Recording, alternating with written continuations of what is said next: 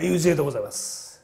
どうですか M50 なかなかねいいでしょう。音ね抜群によろしいです。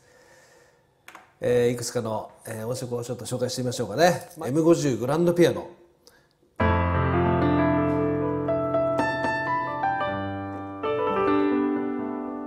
でステレオサンプリングのいいピアノですね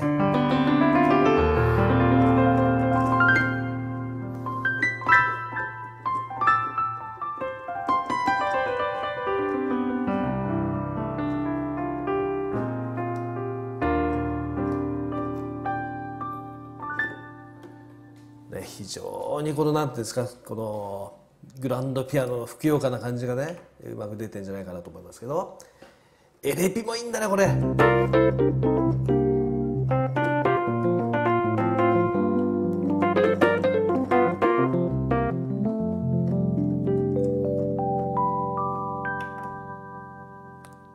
ねいい感じでございますね。これもね非常にこのパンの感じがいい感じでしょ。でもちろんコルグではねシンセで同じですけどこのコーダサイン。こういうの。でねここが面白いドラムトラックが常にねあるわけ。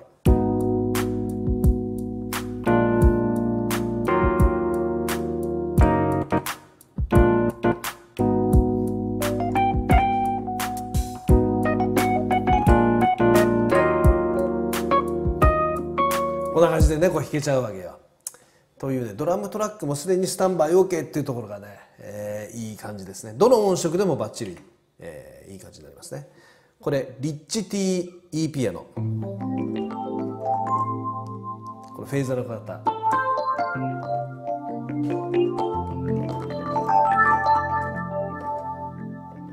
このドラムトラックをにすると。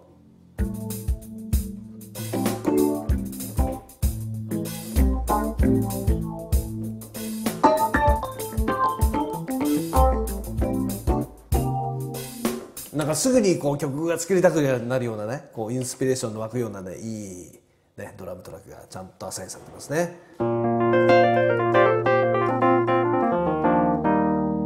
のウーリッツァみたいなね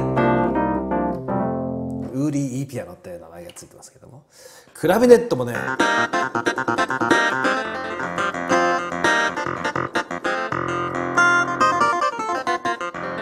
これクラブレジスター AC っていうね音色名がついてるんだけどクラビネットって本物もねこの ABCDE っていうこうねタブレットがあってそれで音色を変えるんだけども、えー、そういったね違いまでしっかり出てるのがいい感じですね。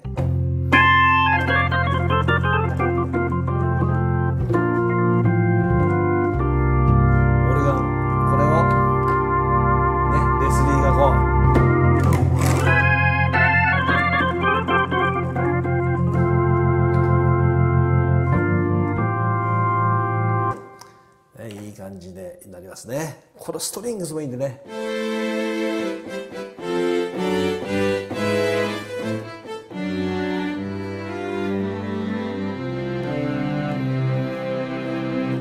ねこのなんですかこの室内楽にぴったしくるような、えいい感じのストリングスですね。ギターの音色これもね極上によろしいですね。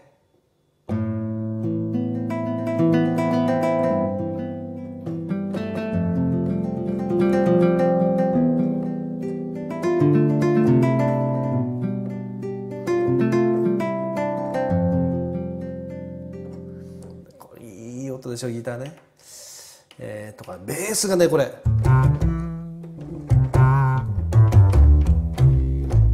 こう美味しい大気が超えるよね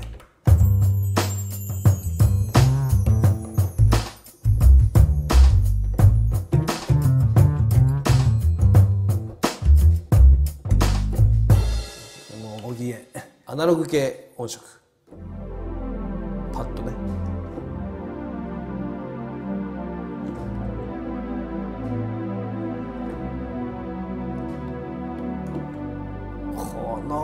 広がり感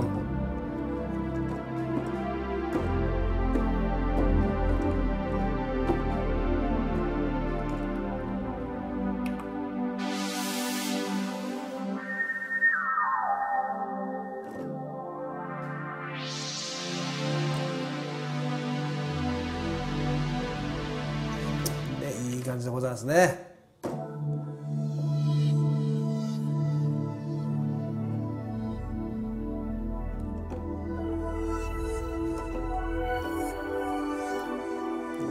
コルグはねこういうシンセ系の音色はね抜群にねいい感じです、えー、このプログラムを組み合わせて作ったコンビネーション。これをね紹介したいと思いますけどコンビネーションはねコルグのシンセでもねもう抜群にいいですね。いつもね。この最初にやった曲のこのこれ聞いて分かる通りこの今ピロピロ言ってる音とベースの音が鳴ってますよね。プラスドラムトラック。もうすでにアルペジオが2つとドラムが鳴ってるわけ。でさらにその上に分厚い、ね、パッドとピアノのレイヤーの音色が。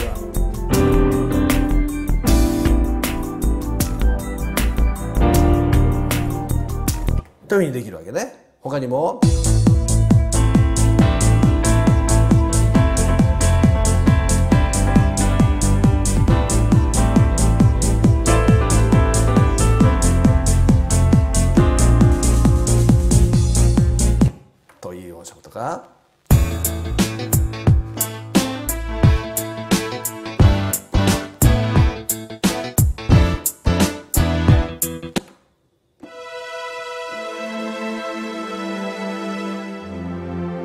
いろんなプログラムをね、えー、重ねて作ったストリングスパートと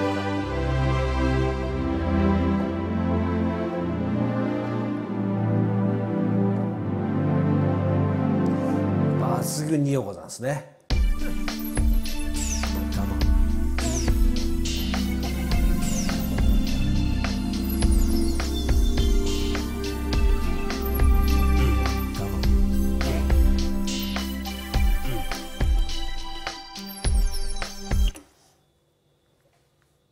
っていう感じでございますね。